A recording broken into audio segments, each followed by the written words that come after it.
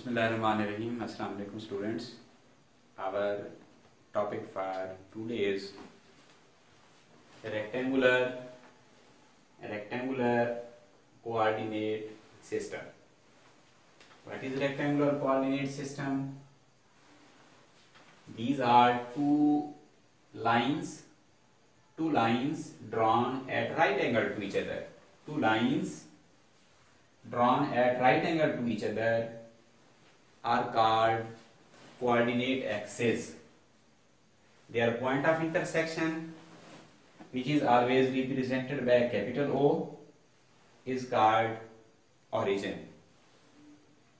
From origin, a rightward line is represented by x-axis, leftward negative x-axis. From this origin, upward line is positive y-axis and downward is negative y-axis. In this way, this is first plane of this rectangular coordinate system. This system is called rectangular coordinate system. In this system, this xy plane is first plane, second plane, also called quadrant, first quadrant, third, first quadrant, second quadrant, third and fourth quadrant. This system of coordinate axis is used for the measurement in plane. Suppose a vector, vector A represented by line OP. This uh, vector A, direction of this vector A is represented by an angle. Direction of this vector A is represented by theta with angle which are representative line of this vector A makes with positive x-axis in anti-clockwise direction. In this case, the point P of vector A having coordinate A and B. This coordinate A is magnitude of this vector along x-axis and this B is distance of this point P from origin along y-axis. In this case, A and B will be named as magnitude of this vector A. Dear students, in space, for the direction in space, for the description of vector, any vector, we required an other axis which is perpendicular to x-axis, also perpendicular to y-axis, is named as z-axis. These three axes, x-axis, y-axis and z-axis are mutually perpendicular.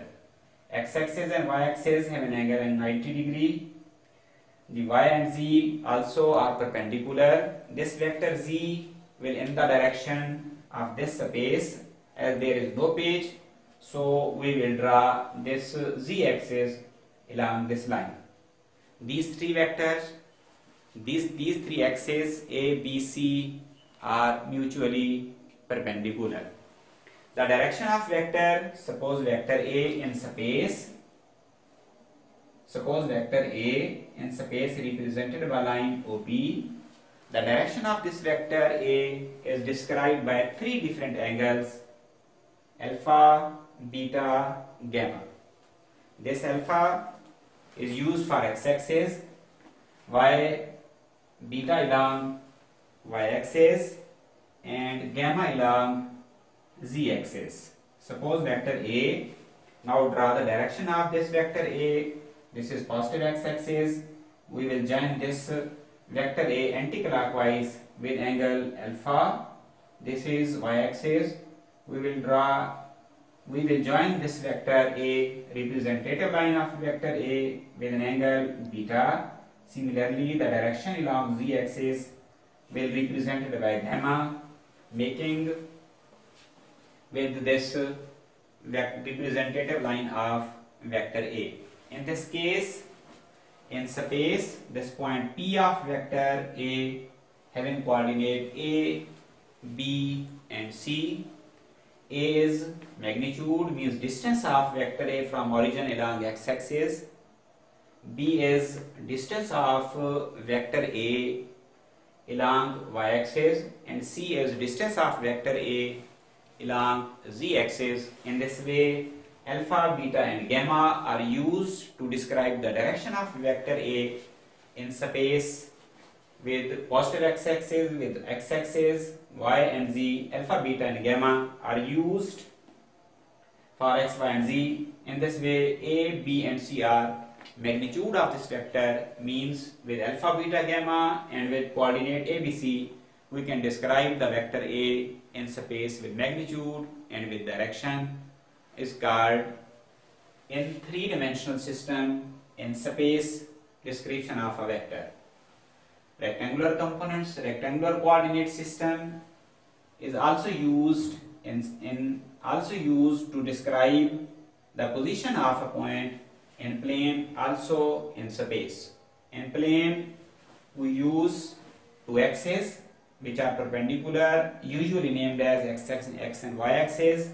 In space we use three axes x, y and z axis. These two axes, these three axes are mutually perpendicular. Direction of vector A in plane is represented by only theta which is a representative line makes with positive x-axis in anti-clockwise direction a and b are magnitude in this case in the space vector a with direction alpha beta gamma and abc with its coordinates distance along x and z are magnitude of this vector. G is called rectangular coordinate system.